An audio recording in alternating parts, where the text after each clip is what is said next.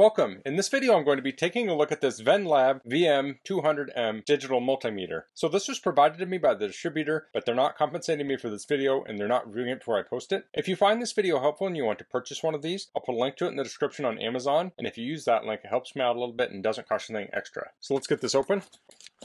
Here we have the leads, two AA batteries. We have the meter itself, here's the user manual. Let's take a quick look at it. So we have safety information, features, maintenance. So it has a hold feature. You press it to freeze the display, and then you can press it again to return to normal. Also has a backlight. It says push the backlight to turn the backlight on and off, and it will automatically turn off after 30 seconds. This talks about measuring here. Here's some specs. So you can pause and read through these. So this can measure DC voltage, AC voltage, DC current, resistance, HFE, so that's related to transistors. We have diode and audible continuity, and that's everything for the manual. Let's get this open. So here's the meter. Pull this open. So it looks like we need a number two screwdriver to put the batteries in.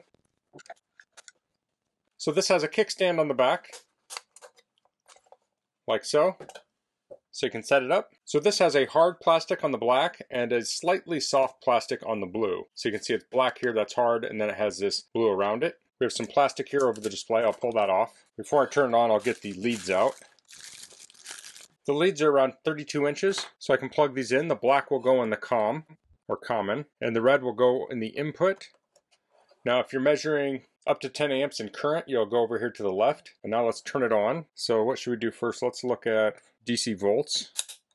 So I'll go to 20. So I'll measure this 9 volt battery here. So we're getting 9.21 volts.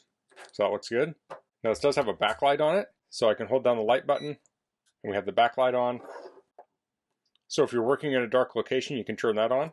So that looks nice and that will turn off after 30 seconds. Let's measure some other things. Let's measure some AC. So on these probes, we can take these sheaths off and it'll make it a little bit longer. Oh, I'll get an outlet here. So I do want to say, if you don't know how to measure AC voltage safely or high voltages in general, make sure you learn how to do that before you do this. Now this outlet has a tamper feature on it, so you can't stick these probes in and get voltage. So I put a 3-in-1 adapter in here. So I'll turn this to AC 200 so you can see the difference here. The V with the straight line and dash line is DC, and then the sine wave there is AC. So let's see if I can get that in frame here without glare, and I'll measure this outlet. Okay, so we're getting 120.4 volts, 0.5 volts. So I've got some other things I can measure here. I have a 10K resistor. So we'll go here to 20K. And here we got 9.95K. So that's within the tolerance of the resistor. So that would be a correct value. And probably one of my most used features on a meter is continuity. So this will also do diode testing. But if we touch the probes here, it tests continuity. of course, I can put the little protectors back on. And then let's test the hold too. So if I go to, let's go back to the 9 volt since it's here.